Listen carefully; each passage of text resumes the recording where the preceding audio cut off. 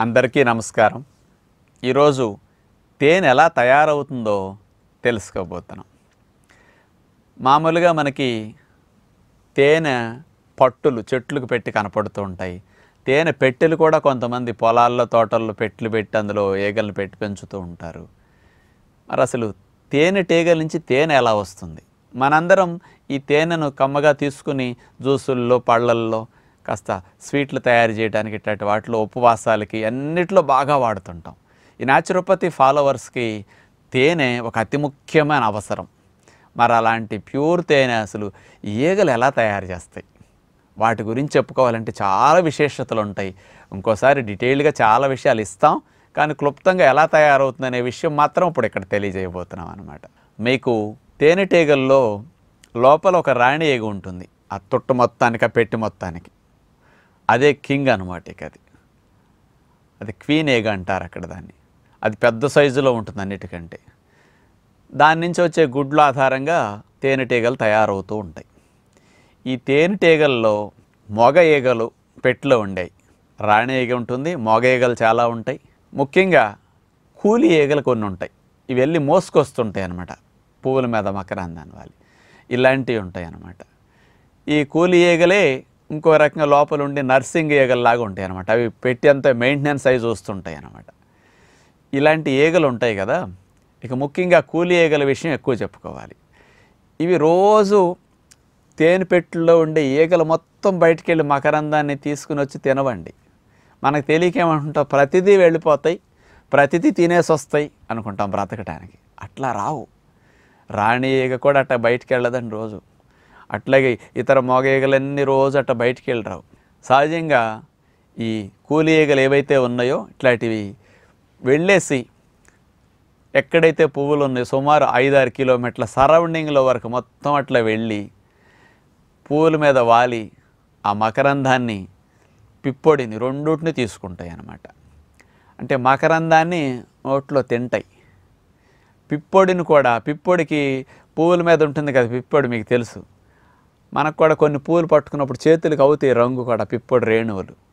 ఆ పిప్పొడి ఎట్లా తీసుకుంటాయి అంటేనండి దాని కాళ్ళు దానికి ఉంటాయి కదా దాని రెక్కలు వీటన్నిటిని పిప్పొడి మీద రుద్దుతాయి అన్నమాట.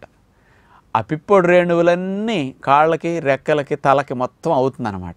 మొత్తాన్ని మళ్ళీ రెక్కలతో కాళ్ళ మీద నెత్తి మీద ఉన్న వాటన్నిటినీ కూడా ఈ మకరందాన్ని తిన్నది కదా కొండితో ఈ మకరందం యొక్క జిగురుకి ఈ పిప్పొడి రేణులన్నిటిని మొత్తం అట్ట దులిపి దీనికి అంటించేసుకుంటుంది అంటించేసుకొని పిప్పుడు రేణువులు మొత్తం ఈ మకరందం జిగురుతో అంటించేసి ఒక బాల్ లాగా చిన్నగా తయారు చేసుకుంటుంది అనమాట దీన్ని కాళ్ళ మధ్యలో పెట్టుకుని పట్టుకెళ్తుంది అనమాట ఎగురుకుంటే వెళ్ళేటప్పుడు పిప్పుడు రేణువులు ఎగిరిపోయినాయి అనుకోండి మళ్ళీ ఇంతసేపు కలెక్ట్ చేసి వేస్ట్ కదా. అంచేత మకరందాన్ని తింటాయి మకరందం కొంత తెచ్చి ఇట్ట చేస్తాయి. ఆ పిప్పొడి రేణువులు కూడా కావాలన్నమాట. అందులోనే ప్రోటీన్ ఉంటుంది పిప్పొడి రేణువులు. అందుకని మరి కొత్త తేనెటీగలు పుట్టాలంటే కూడా మరి ప్రోటీన్ కావాలి కదా. అలాంటి తీసుకున్న తర్వాత మొత్తాన్ని కలిపి ఆ మకరందం సహాయంతో పిప్పొడి రేణువులన్నింటిని ఉండలా చేసి ఈ కూలీగా మోసుకెళ్ళి పాపం లోపలుండే పోషించే ఈగలు ఉంటాయి కదా. అలాంటి వాటికి వాటి నోట్లో పెట్టేసేస్తాయి అన్నమాట. అవి తినే అవి తీసుకుంటాయి.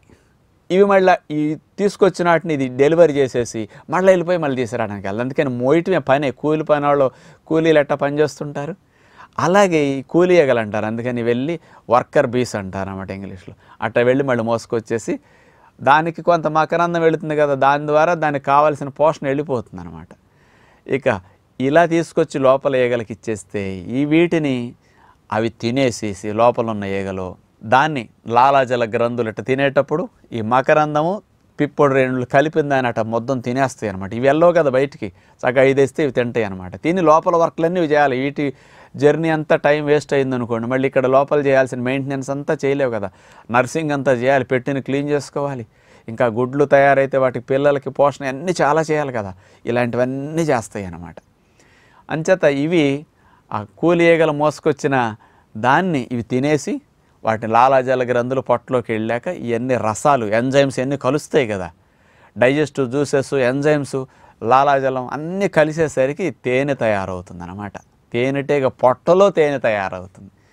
ఈ తయారైన తేనెకి తేనెటీగ రెండు పొట్టలు ఉంటాయి ఈ అరిగించుకుని ఆహార పదార్థంలాగా మనకుంది పొట్ట అట్టాడి పొట్టు ఉంటుంది తేనె తయారైంది. ఈ తేనె తయారైంది ఇంకొక పొట్టు ఉంటుంది తేనె పొట్ట. అందులోకి వెళ్ళి స్టోర్ అవుతుందన్నమాట అలా స్టోర్ అయ్యాక ఆ తేనెను ఈ ఈగలు తీసుకుని ఏం చేస్తాయి? మళ్ళీ తీసుకొచ్చి బయటికి కక్కి. ఆ సంచిలో తేనె యొక్క సంచి ఉంటుంది కదా ఆ సంచిలోంచి తేనెని వెనక తెస్తాయి అన్నమాట. వెనక తెచ్చేసి మైనప గదులు ఉంటాయి కదా ఆ మైనప గదుల్లో ఈ తేనెను నింపేసి ఆ గది నిండా నింపేసేసేసి మొత్తం గది నిండాక అన్ని గదులు అయిపోయినప్పుడు ఏం చేస్తాయంటే బయట కూర్చుని మళ్ళా ఈగలు రెక్కలు పెట్టి ఇసిరేస్తాయి బాగా. ఇసిరేసి ఆ తేనెలో ఉండే తేమని పూర్తిగా అంటే ఎక్కువ భాగం ఇక చెడిపోకుండా తేనె అమృతం కదా ఇక మరణం ఉండకుండా ఉండాలి. అలా బాగా రెక్కలు పెట్టి ఇసిరేసి ఇసిరేసి ఇసిరేసి తేమంతా ఎవాపరేట్ చేసి మాయిశ్చర్ ఫ్రీ చేసుకుని దగ్గర దగ్గర అప్పుడు ఆ మైనపు గదిని మూసేస్తాయి అన్నమాట. అంటే దాన్ని బ్రతకటానికి కావాల్సిన తేనె పొట్ట నుంచి ప్రేగులు తీసేసుకుంటాయి అక్కడ రక్తం లోపలికి వెళ్ళిపోతుంది తేనె టెక్కి. ప్రతి తేనెటే గట్ట తినేసేసి తయారు చే- కానీ కొంత ఎక్సెస్ తయారు చేసుకుని అన్సీజన్ కోసం చలి ఎక్కువ ఉన్నప్పుడు వర్షాలు అప్పుడు వెళ్ళలేవు కదా. అలాంటి వాటి కోసం ఈ లోపల తయారయ్యే గుడ్లు సీజన్ అప్పుడు ఆటికి ఉత్పత్తి కోసం తేనె కావాలి కాబట్టి ఇటు తీసి పెట్టుకుంటాయి అనమాట అలా త్వరల్లో పెట్టేసి మైనం పెట్టి మూసేస్తాయి అనమాట ఆ సీలేసిన హని ఇక దానికి మరణం ఉండదన్నమాట. అమృతం అనే పదానికి అర్థం తేనె అన్నమాట. నేచర్లో ఉన్నవన్నీ మరణిస్తాయండి. ఒక్క తేనె మాత్రం ఒరిజినల్గా తీస్తే అసలు మరణించదండి దాంట్లో ఏది వేసినా అది మరణించదు. దేనికి కలిపి అసలు తేనె ఒట్టిగట్ట నిల్వ ఉంచినా అది మరణించదు అనమాట అంత పవర్ఫుల్ మెకానిజం తేనెటీగకు ఉంటుందన్నమాట.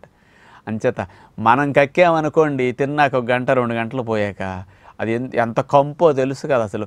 మనకి మనకే చిరాకు వచ్చేస్తుంది బస్సులో ఎవరిని కక్కితే చూడండి బస్సు మొత్తం వాసన.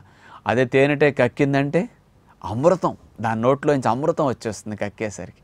అంత పవర్ఫుల్ మెకానిజం తేనెటీగ నోట్లో ప్రేగుల్లో ఉంటుందన్నమాట. అంటే అలాంటి అద్భుతమైన తేనెటీగ ఈ సృష్టి అంతా డెవలప్ అవటానికి తేనెటీగలు చేసే కృషి ఎంత అంత కాదనమాట అన్ని పిప్పుడు రైన్ మీదట దులుపుకుని ఓ అంటే రాసుకుంటాయి కదా ఇంకో ఇంకో పువ్వు మీద ఆలిందనుకోండి ఇది అది కలుస్తాయి. మరి సంపర్కం ద్వారా మళ్ళీ కొత్త రకాలు డెవలప్ అవుతుంటాయి అనమాట పరపరాగ సంపర్కం ఇట్లాంటివన్నీ విన్నాం కదా మనం.